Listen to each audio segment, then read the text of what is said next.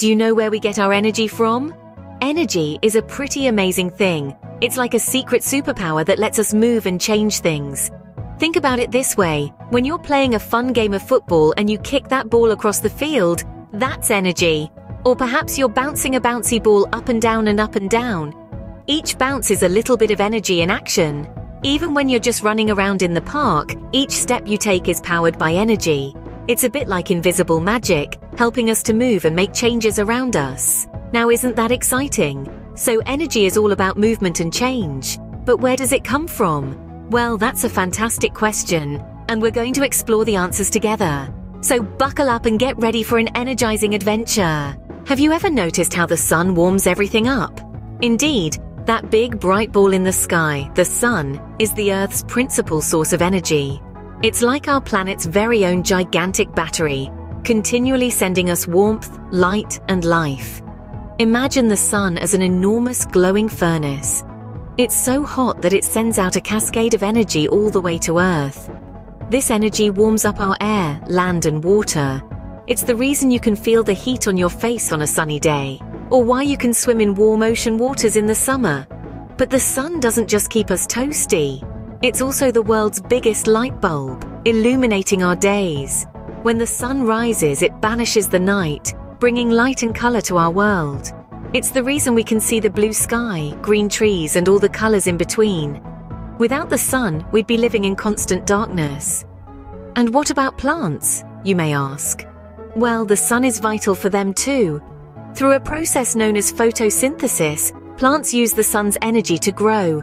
They soak up sunlight, mix it with water and carbon dioxide, and voila! This magical process creates the food that fuels their growth. And as they grow, they produce oxygen, which is essential for us humans and all other animals to breathe. But wait, there's more. These plants, grown with the help of the sun, become food for animals and for us. So in a way, we're all solar powered, relying on the sun's energy to live, grow, and thrive. Isn't it amazing how much we rely on the sun? It's like a friendly fiery giant generously sharing its energy with us. It warms us, lights up our world, helps plants grow, and even indirectly feeds us. Without the sun, our world would be a very different place, cold, dark, and without plants. So the next time you're basking in the warm sunlight, remember to appreciate our incredible life-giving sun. Ever wondered why we need to eat? Well, it's because food is like fuel for our bodies. It's our very own source of energy. Imagine you're a rabbit nibbling on a crunchy carrot. That carrot gives the rabbit energy to hop around and do rabbit things. Or picture a child munching on a juicy apple. That apple is packed with nutrients that help the child grow, play, and learn. Just like a car needs petrol to run, our bodies need food to function. You see, when we eat, our bodies break down the food into smaller parts. These parts, called nutrients, are then used to power our bodies. They help us move, think, and grow. And that's not all. Food also helps us stay warm when it's cold outside and keeps our hearts beating so we can live, laugh, and love. So every time we eat, we're actually refueling our bodies with energy. Did you know that we use different types of energy every day? Yes, indeed. The world around us is powered by various forms of energy, all working together to make our lives easier and more enjoyable. Let's start with electricity. This is the type of energy which powers our lights, computers, and televisions. When we flip a switch, energy in the form of electricity flows into our lights and brightens our rooms.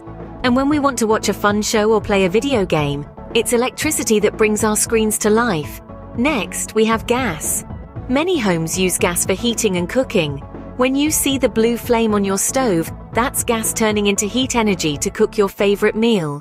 And when it's chilly outside, gas can also heat our homes, making them cozy and warm. Now, think about when you're in a car. Cars run on petrol, which is a type of energy called chemical energy. When petrol is burned in the car's engine, it transforms into mechanical energy, making the car move.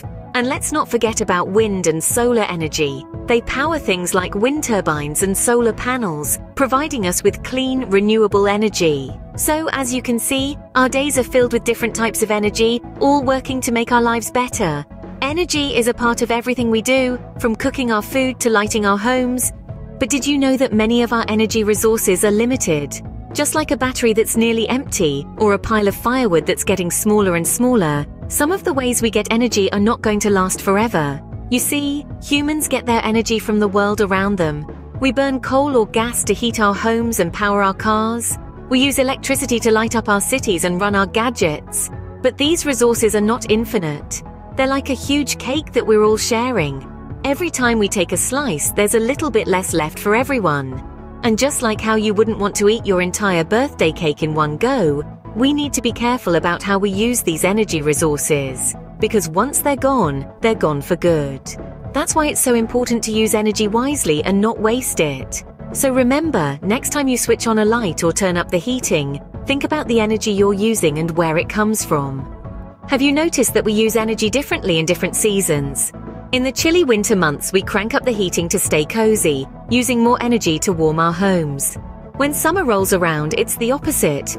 We want to stay cool, so we use energy to power our air conditioners and fans. Spring and autumn? They're a mix. Sometimes we need a bit of heat, sometimes a bit of cool.